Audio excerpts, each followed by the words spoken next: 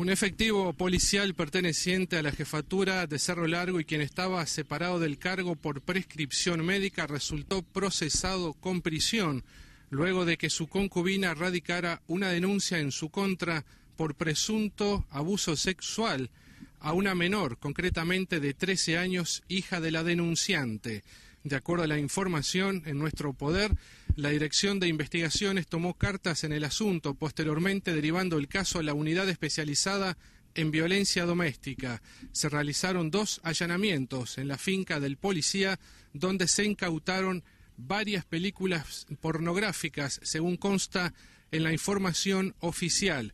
De acuerdo a la misma, se le estaría suministrando este tipo de películas a la menor en ausencia de su madre. Como consecuencia, se detuvo a otra persona que era quien le suministraba las películas al funcionario, quien resultó procesado sin prisión.